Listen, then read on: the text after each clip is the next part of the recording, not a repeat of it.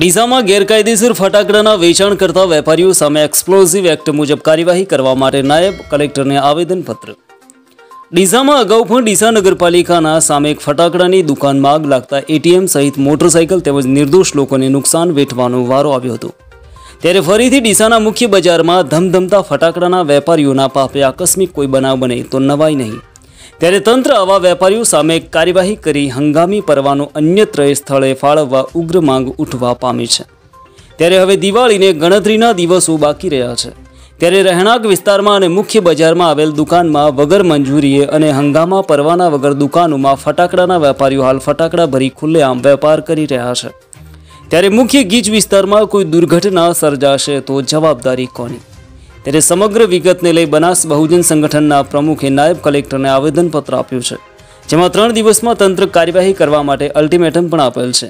ત્યારે હાલમાં બનાસકાંઠા જિલ્લાના મુખ્ય વેપારી મથક ડીસા શહેરમાં દિવાળીના પર્વને લઈ ફટાકડાના વેપારીઓ હાલ ફટાકડાનું ધૂમ વેચાણ કરી રહ્યા છે. ત્યારે ફટાકડાના વેપારીઓના પાપે નિર્દોષ લોકોને જીવ ગુમાવવો પડે તેવો હાલ બજારમાં અવરજવર કરતા લોકોમાં ભય ફેલાઈ રહ્યો છે. ત્યારે સમગ્ર બાબતે લઈ સેવાભાવી સામાજિક કાર્યકર ગૌતમ છત્રાલિયા, બનાસ બહુજન સંગઠન નેજા હેઠળ તંત્ર આવા ફટાકડા વેપારીઓને બજારમાં હંગામી સ્ટોલ ફાળવે અને કોઈ દુર્ઘટના સર્જાશે તો કોની જવાબદારી રહેશે? ત્યારે આ ફટાકડાના વેપારીઓને ડીસાના હવાઈ પિલર મેદાન ખાતે સ્ટોલ ફાળવવામાં આવે તો સારી રીતે તંત્ર અને વેપારીઓ ભય વગર વેપાર કરી શકે છે. ત્યારે તંત્રના કાયદાના પડકાર ફેંકતા વેપારીઓ સામે એક્સપ્લોઝિવ એક્ટ મુજબ તંત્ર કાર્યવાહી કરે.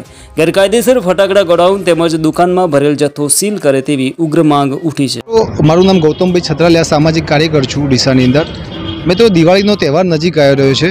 ત્યારે ડીસા શહેરના મુખ્ય બજારમાં વાત કરીએ તો જે ફટાકડાના જે વેપારીઓ છે, એ લોકોએ લાયસન્સ વગર અત્યારે પોતાની દુકાનો ખોલીને બેસી ગયા છે. તંત્ર તરફથી કોઈ લાયસન્સ પણ લીધું નથી.